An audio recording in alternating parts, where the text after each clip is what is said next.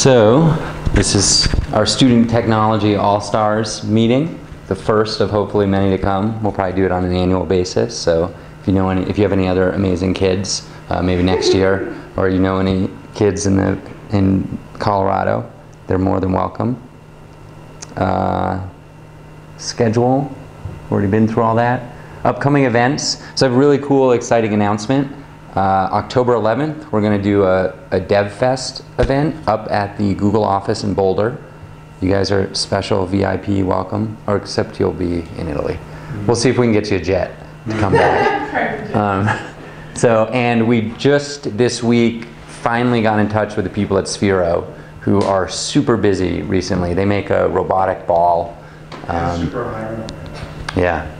Uh, and Sphero going to be in the Star Wars movie in December, which is like, if there's there's really nothing cooler, I don't think. Um, they made R2D2's new friend, but they're gonna they're gonna partner with Google Developer Group, Fort Collins, Denver, and Boulder in this Dev Fest that we're doing October 11th. So tell people there'll be a sign up soon. Um, so that'll be really fun. Uh, we have new meeting space potentially uh, under construction, which is pretty exciting. iTriage is overflowing into the building across the street, and they sent out one of those emails. It was like, hey, we get to build whatever we want. What do people want? And I said, hey, I always have people over, and it's like really cramped, invincible, which is the name of this room. And uh, it'd be awesome if we had some meeting space. So they designed this like bleacher system with a huge projection movie screen, so we can have like movie night and really uh, cool professional GDG meetings. Uh, and DevCon happened last week. Three of our members gave speak, gave talks in Boston. Kelly gave an awesome talk. I gave an okay talk. And uh, Dave Smith, who was last month's uh, presenter, also gave talks. Um, this is a new segment here. Call this Mark's Project of the Month. Um, I have this new scam essentially to get Starbucks money at 20% off. And so if you're interested, ask me later and I'll, I'll show you how to do it. It involves Bitcoin, so you know it's kind of shady. Um, but it, totally, it totally works. I'm really amazed by it. You can buy a $10 gift card for eight bucks, spend like $6, and then you just ask for your money back and you get $2 back. So it's pretty cool. It seems like it would be impossible, but it's not. And so thank you to our sponsors. iTriage hooked us up with a beer and a space, and uh, WebRoot helped us pay for some things as well. If you want a free license to their, uh, um, what do they do? Antivirus uh, stuff, you can download it there. And uh, that's about it. So do you want to hook into the projector? Do you have a HDMI cable, or do you need a display? We got this adapter too. Yeah. Okay. Here, I'll set that up if you want to like clip that to your.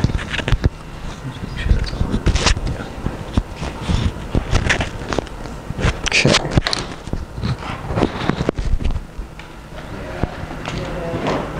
And, uh, I do, and I know that, uh, at the same time, I don't know. You can move up here. Okay.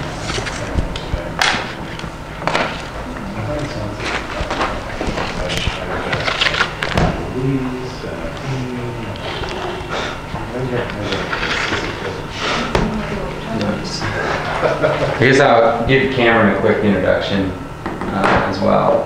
So Cameron's a skateboarding wizard with a uh, interest in Google SketchUp, which is 3D product, and uh, has helped design a potential future skate park where he's from. Uh huh. We're going to hear a little bit about that. Alright. Do you want me to wait for them to get back, or What's that? should I wait for them to get I back? think, did they just take off? I don't know. Uh, I think they might have just slide out. Alright. Are you, are you guys? Are you, Oh, we're talking to Shaw. We gotta figure that out. Yeah.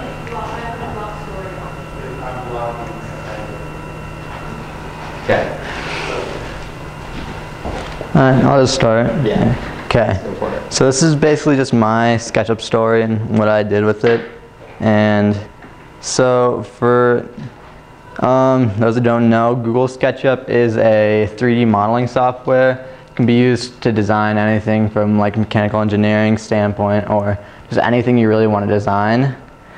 And um, so that's just like a little GIF of the modeling process with SketchUp. And then, um, so this is just the beginning of my whole like SketchUp experience. Like my love for Google SketchUp and 3D design all began with my love for skateboarding. Like I would always, um, I would always skateboard uh, when I like, um, and so when I was littler, I'd always have my mom drive me to skate parks. And all the skate parks that I went to, I always just learn about some new design aspect. And um, when I learned about this new design aspects, I wanted to uh, somehow um, make my own design, and I had nowhere to like store those designs that I had in mind. And so that's how I got to um, SketchUp. And um, so basically the whole reason I started SketchUp was from one little video that I watched on YouTube. Like it just said how to design a skateboard bowl with Google SketchUp. And so I watched that and then immediately got the application and started to try to design my own.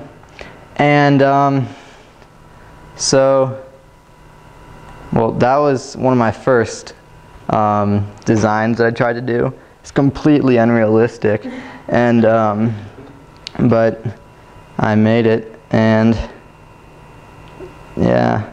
And so my progress with Google SketchUp, like I was always trying to get better at 3D modeling. I like I was always on my computer trying to learn new things, and my mom was already always saying it was a waste of time. And so um, sooner or later, I started designing things other than just skate parks.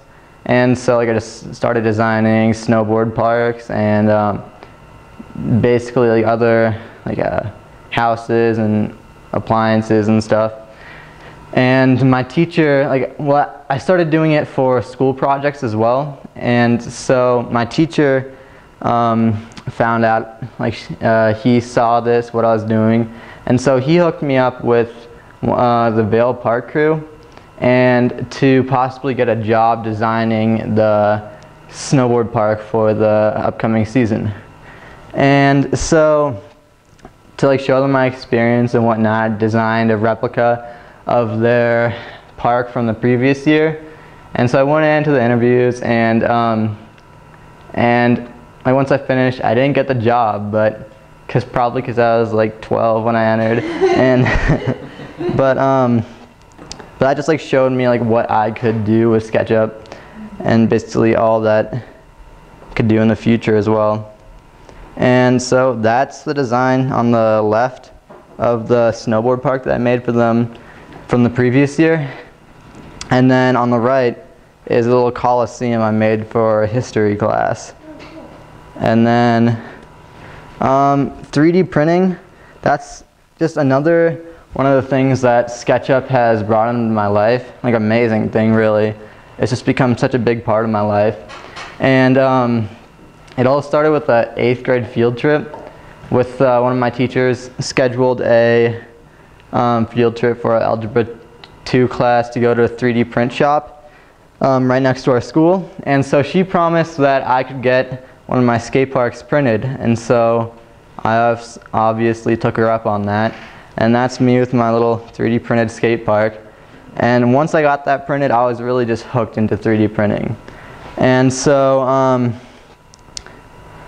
so I started volunteering at the Vail Library as a 3D printing coach. I would design and print things for whoever came in, like that's how I met you. And, um, and so after I did that for a while and got really into it, I convinced my parents to get me a 3D printer as well. That's my printer on the left. And then I realized that I really wanted to do more stuff with 3D printing. And so um, I I even did like stuff for my science fair. Like I created a new method for like 3D printing from like a 2D printer, and um, and then I I started a business at my school as well, selling um, 3D printed objects for whoever wanted it. And uh, here are some of the prints I made. On the top left, that's a watch band for my dad. It's like custom design because he couldn't like buy it anywhere and his broke. And then bottom left, this is a little Yoda design that I printed. His right ear is broke off though. And then the top one, I printed that. That was one of the ones that I sold to um, one of the one of my classmates. It was like an Xbox faceplate. And then I printed Batarang. That's my skate park from before. And on the bottom middle, that's like a really recent print that I did. It's a little art case with all my art supplies. So it's like a little travel pack and a little screw to keep it tight.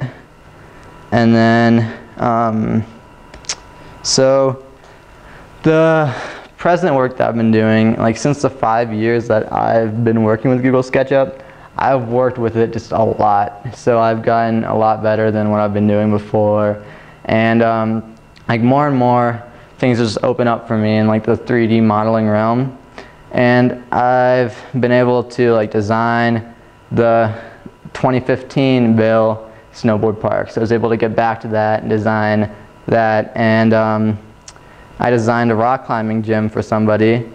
And I uh, taught classes at the Vail Library as well.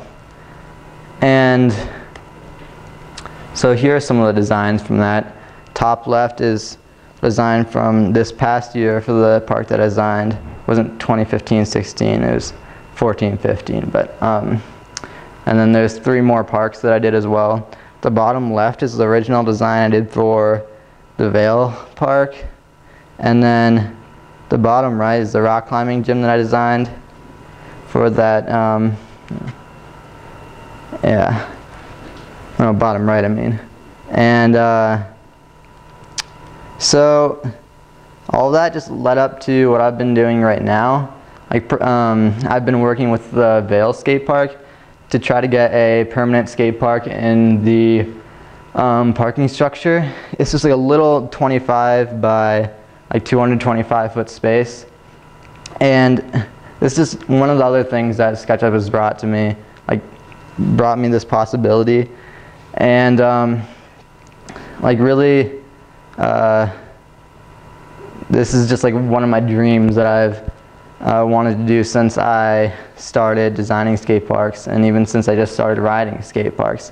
And um, so we, we all started off like me and this, um, my skate park committee as we called it, we took the idea to town council and then after a few months we actually got the skate park approved and it's going to get built in a few days. So I'm super excited about that. And that's about all I have. But just like Google SketchUp has like really helped me in so many ways that really either me or my mom who couldn't thought this was a waste of time really could have never imagined. So yeah. That's awesome. um, so I have some questions. The uh, you showed a picture of the skate park you designed, and it Yeah. was colored. Was did you paint it, or was you use different? Oh. Um, Um, this one Yeah. was actually on a professional grade printer at the print shop. So this was printed all in color. okay. But So you yeah. specify the color. Uh huh. And how does it? How does that work? Does it use different plastic, or does So it spray paint? this is a whole different printer than the fused deposition ones at um, that you saw at the library. Like the ones that you usually would see are the desktop printers. They just extrude filament, but instead this one, um, how it prints is it just does layer by layer of this kind of dust, and it on each one of those layers it uses like a inkjet type technology where it just puts down some, um, some material that solidifies the dust where it lands. And with that, you can just do any color that you want, layering it up to make a colored 3D print. Yeah. Um, can you go back? I had another question a couple slides before that. Um, uh, I can't remember now. Um, so when you, when you said you designed the 1415 uh, terrain park, hmm did, did they hire you? Um, this was basically just something that started from the the ski and snowboard club that I was in, and one of the uh, coaches knew that I like designed 3D and stuff, and so uh, he um, actually got the got the job for me and um, hooked me up with those people from the Vail Park crew again and let me design that park. And So it actually looked, like last season, it looked like your designed. Uh, for the most part, yeah, but Cool. uh, And anything new and exciting in next year's snow park? um, well, no, that was just a typo.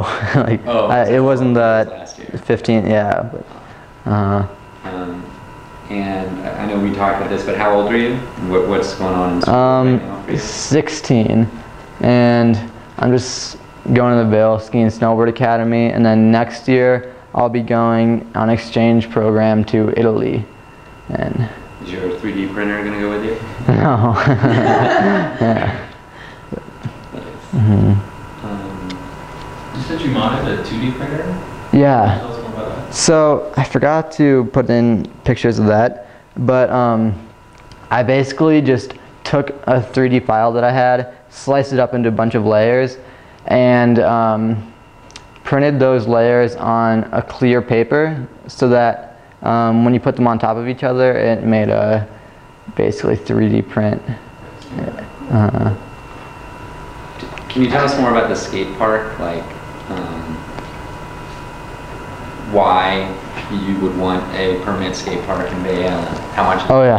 cost and how long it took Uh-huh. at this point? So basically with the skate park, we've had like a um, a wooden skate park in Vail for a while now, and that has to be like moved around um, every winter, and it's it's basically near the end of its life, and so um, how this whole permanent skate park thing happened is I just got one of my mom's friends um, was actually looking at a spot in Vail for the skate park, and this is like super hard to find areas in Vail because everything is being used and it's such a small town. And so once he found that, he asked me if it was actually possible to put a skate park there because it was so just long and skinny and there aren't really any skate parks like that. And so I just put together a design for a skate park for him and that's the one on the bottom left corner. That was my initial design that I put together just to show that it was possible to have a skate park in that space.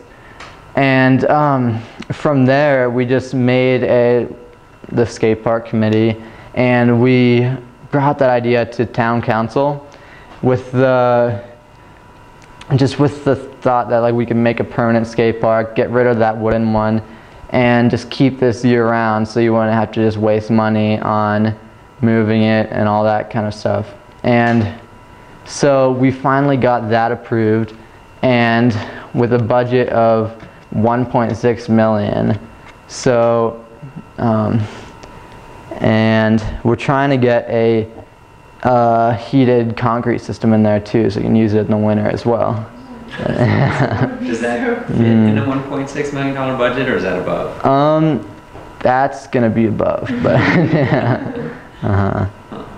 What's the height of the quarterback on the far end? Um, the for the snow park design. Uh, no, for the, the skate park you're talking about. So the bottom left. Oh, um, on the end of it. Um, well, that's just basically like there's these big walls on the side of the um, parking structure. So I just decided to put in the huge wall ride on that end, just to like take advantage of that. hmm So when you showed the pictures of like the Xbox faceplate, is that Mhm. something that like you are there like SketchUp files that people share online, or is that something you have to kind of like build out yourself from scratch? Um, this is actually one that I found online from Thingiverse, and uh, but like the watch band and that art case and the skate park, those were all ones that I made on Google SketchUp. Cool. Mhm. Do you ever like have like how much disconnect do you have? Like you design it in SketchUp and like Uh-huh. it's gonna work, then you print it and then you're like, uh, Oh yeah. off. Well, that's like how I started off was basically just I had no idea how it was gonna work. So I printed it and then it would just come out just nowhere how I wanted it to be. But now I've got like a system going where I can just figure out how I want my designs to work with the 3D printer and it just turns out exactly how I want it. Like that art case that I made, that was all printed first try with no modifications. So, yeah. So definitely like some finesse, trial and error. Yeah, definitely. You have like this. Uh huh. Like you have to find the tolerances and stuff, get that, like um, to know all that for your printer and everything. But So you also compete, or did compete as a snowboarder in Mhm. different places. Can you talk a little bit about that, and if 3D printing technology might help in any way with that? I'm um, thinking, as I read an article recently about Lindsey Vonn using virtual reality to ski courses she hadn't skied before. oh wow. So if you could like get a printout of a Uh park, huh. you know, like in Salt Lake City, let's say that you've never been to, and like visualize your runs or something. Okay. Well, my experience with snowboarding is I um, did competitive snowboarding like for the past few years, but um, like I did the European Open last year, got second in the junior jam category, and then uh, I competed against the guy who won the Olympics, and like that was that was just like a super fun experience for me, and snowboarding was a huge part of my life, but um, so I, I definitely think 3D printing can be a part of the snowboarding industry. Not really in a virtual reality kind of way though. I feel like you could print like parts to your like equipment and stuff. Yeah, I was thinking about printing some bindings for my snowboard, but um, I haven't gotten around to that yet. But definitely think it could be helpful for that. Awesome. Uh, What if you wanted to do like a fly through through your, your park there, your skate park? Oh, yeah. You could do that. Uh huh. You could do that as well. Just like if you have any um, part designs that you want to um, that you want to sell to somebody, like f- for um, a park that you want to be made, you can just make a fly through and uh, just give them a better visual of it, I guess. And is the skate park going to be free? Is Yeah. for people to use? Uh huh. Completely free. Have you ever been to the Denver skate park? yeah, I have. Uh huh. How does it compare in size to that? It's a lot bigger. The Yeah, that one is that one's pretty big. And this one is like this one's probably from this wall to that wall in width and just super long. But Is there an advantage for it being long and skinny versus? well, actually yeah, there is um like for the long and skinny park that we're dealing with, there's a lot more just um direct lines back and forth through the park. So there's no like crossing lines with the skaters and nobody gets like, uh, no one crashes into each other or anything. But that's like a problem I've seen with the Denver skate park because it's, it has that just giant square shape. And then like the, in one section of the park, it all funnels down into one little feature. And so when everyone goes down into that feature, they all just have to like dodge each other not to just get annihilated. But like with the um, park that we're dealing with in Vail, it's just long and skinny. So you just get basically just like two or three lines back and forth, and so there's no um, uh, collisions. And you said construction starting soon, and how Yeah. long will it take? When will it be ready? Um, it's gonna take two months approximately. So it's supposed to start August 1st, but um, should start in the next few days. Are Uh-huh. you going to be there for the, like, is there a ceremonial? I'm actually well. I don't know if there's. I don't know if there's gonna be a ceremony for the groundbreaking, but um, there's. I definitely want to be there. And there's going to be a ceremony for the opening too when it's actually done and built. But I'm not going to be there for that because I'm going to be in Italy. yeah. Cool. Well, I think that's that's about it. All right. We got some uh, speaker gifts for you Oh, sweet. uh, for making the trip here. Thank you. Get you set of Google Doodle stickers. Oh, that's Put it on cool. laptop or whatever.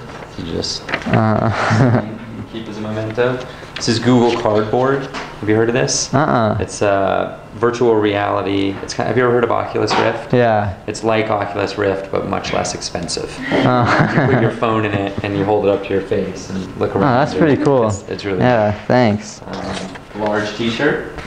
Special. Oh, sweet. Uh, Google I/O is the annual uh, Google Developer Conference Uh-huh. every year, and so we make a Colorado-themed uh, version Okay. of that logo every year. Yeah. There's that. Thank you. And then these are for your driver.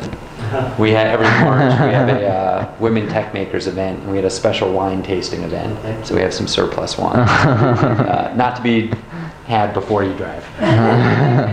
Enjoyed in the future. Um, and that's it. Yeah, thank you so much. Cameron, are you on Twitter at all?